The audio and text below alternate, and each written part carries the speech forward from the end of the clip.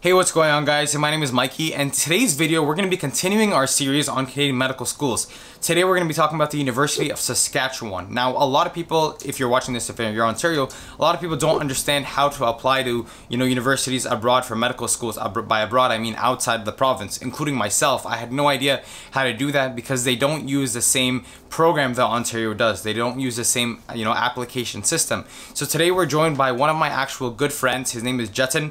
He also has YouTube channel that he started recently. I will link it down below, definitely in the description box. If you guys have any questions about applying to University of Saskatchewan or the specific program that Jatin is in, please feel free to comment it down below in this video or feel free to also reach out to me or to Jatin. We would be happy to answer any of the questions that you have. Now, I mainly make videos about tech that students should use in university, study tips. If you are enjoying this series so far, don't forget to like and subscribe down below. And without any further ado, let's get started with this video. Hey everyone, so you want to apply to the University of Saskatchewan. Well, step number one is to learn how to pronounce Saskatchewan properly. Before I dive into the questions that Mikey provided me, my name is Jatin and I'm currently an MBA student and a soon to be medical student. So technically I'm part of the five year MD MBA dual program. And if you have any questions about the MBA portion, you can just comment them down below or reach out to me on my YouTube channel. Mikey will probably provide a link right on top or in the description for my YouTube channel. So since I haven't started medical school yet, I also got a couple other medical students from USask to help out with these questions.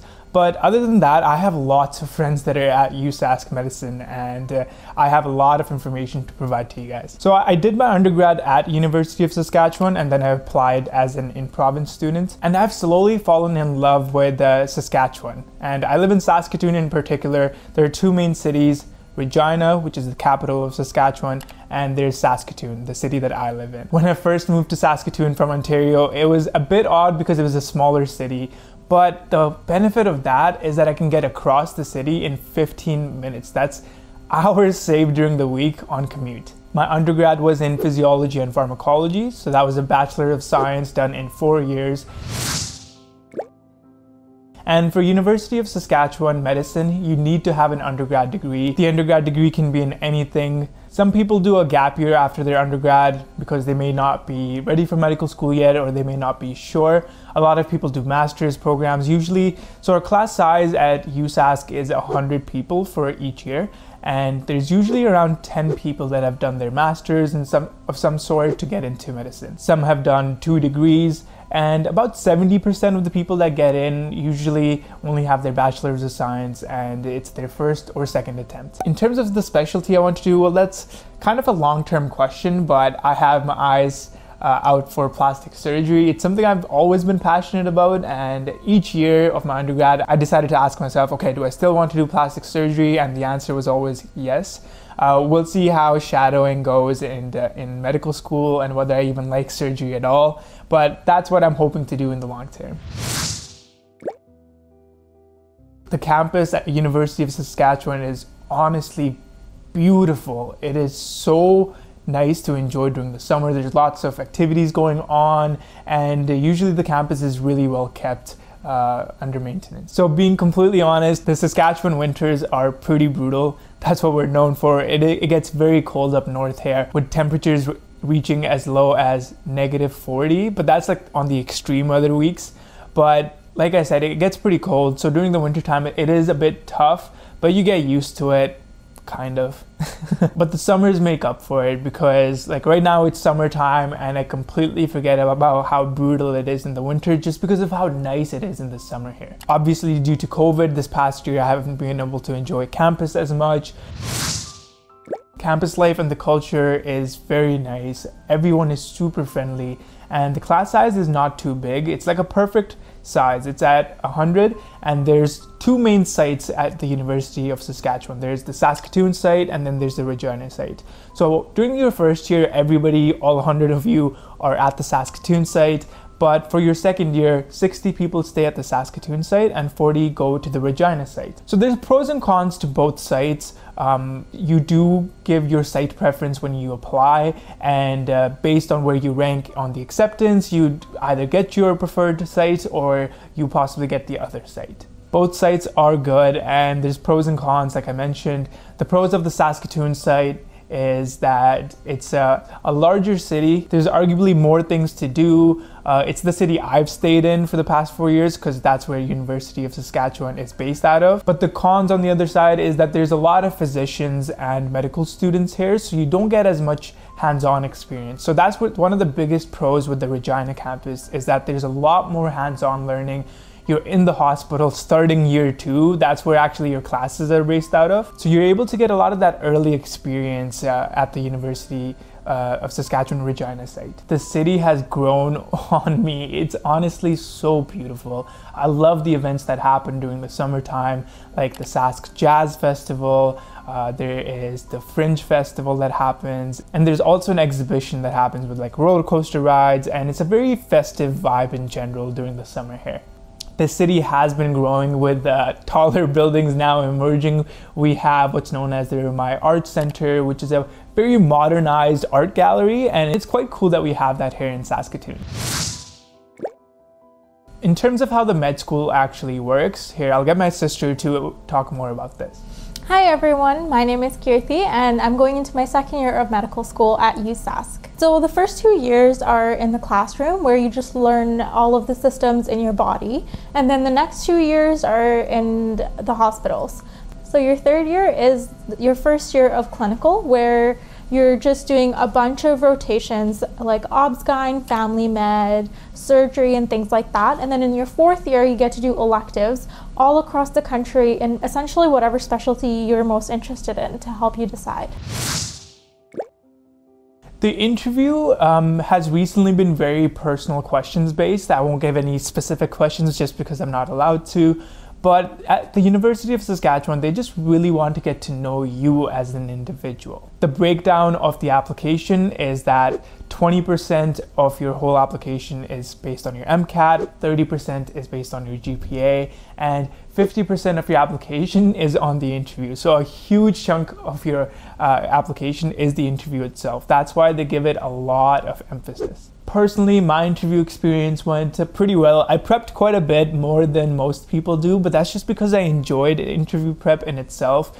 I think that's the key to doing well on the interview um, is to enjoy how you actually go about to prepping. I was watching TV shows, I was listening to podcasts, things that I enjoyed, but I also got to learn about different topics, um, such as like the opioid crisis, about marijuana laws, and about uh, patient centered care in general. The tuition, I think in Canada in general, is not too too high, but specifically at the University of Saskatchewan, it's not that high. I believe it's around an average price of $18,000 for each year. And I think, like most universities in, in Canada, uh, you get a, about a 350 grand line of credit through the bank of your choice. That way, you're easily able to play, pay off your student loans. In terms of how you actually go about to applying at U of S, uh, I'll let my sister answer this question. Currently, the application process itself is pretty simple. The application for me was due on October 1st. Um, it only about takes about 15-20 minutes to fill out the whole application. It's pretty basic, um, and there's just a fee with it, and then you release your MCAT scores. Um, with the application as well. Other than that, it's pretty simple. After applying, you just hear back in January whether you got an interview or not typically, and then you typically have interviews in March and hear back around May.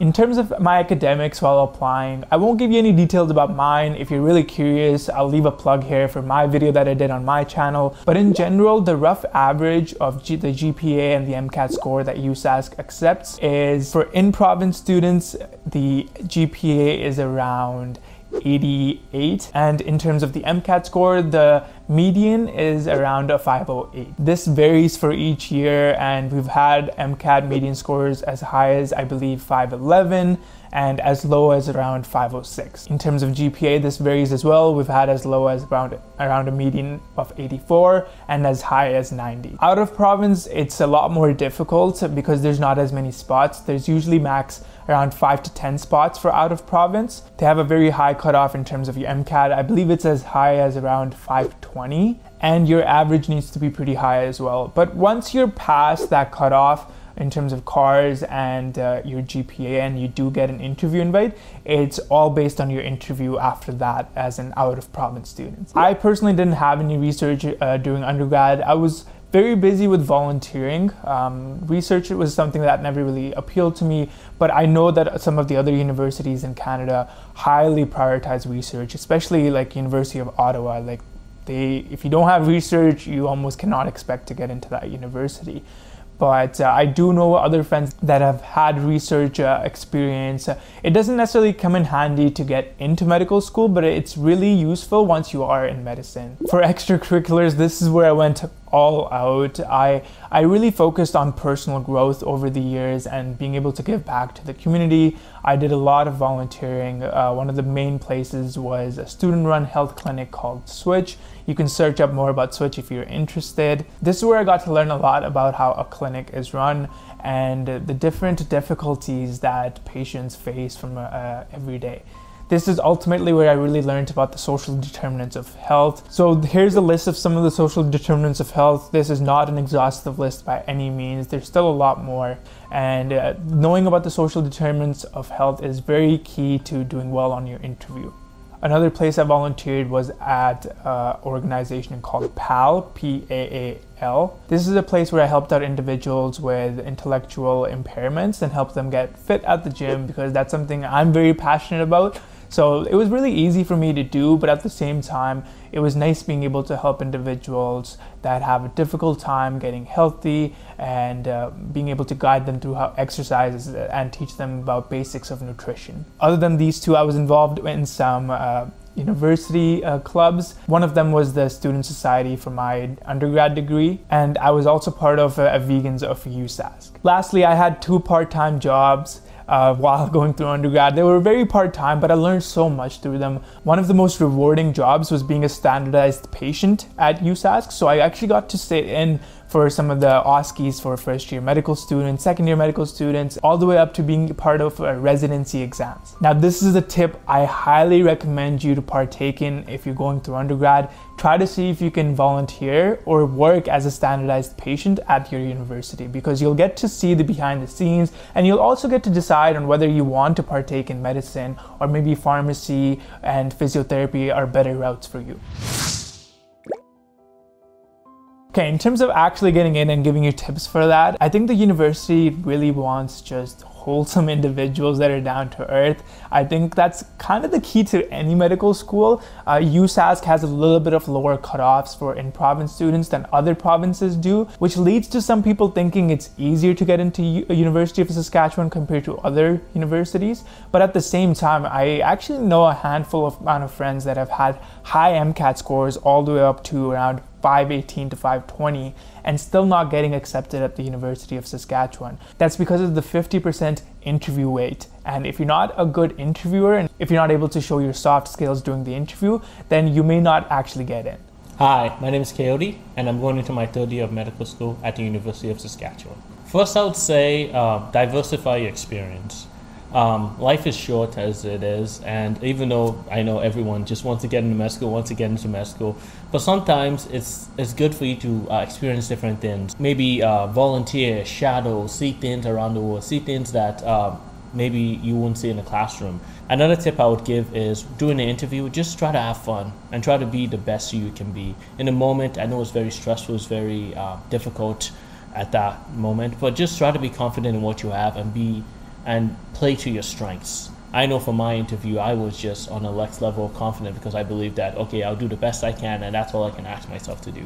And because of that, I felt so confident during the interview. Afterwards, I freaked out about every station, but uh, during the interview, it really helped me feel calm and helped me go to every single station and do the best performance I could in every station. I would highly encourage you to familiarize yourself with Indigenous health. Indigenous health is very important in Canada in general, but at the University of Saskatchewan, we are located on Treaty 6 territory and uh, there's definitely one interview question every single year on Indigenous health. Other than Indigenous health, I really recommend you also focus on rural health because there are a lot of rural towns in Saskatchewan, and you may actually get placed there for different practicals and for shadowing. Overall, I'm honestly really happy and proud to be going to the University of Saskatchewan. Like I mentioned, the campus is absolutely beautiful. The health sciences building is very new, it's quite modern, which fits in really well with my taste. I love the people here. The close connection of just 100 people in the class is really unmatched. And this is something that I learned when I was talking to a friend that goes to U of T medicine, and he was always talking great things about University of Saskatchewan. And I was like, hey man, you go to University of Toronto. How come I don't see you boasting about that as much uh, when we are conversing? And he said that to be completely honest, with the U of T class size, it's hard to make those close bonds with people.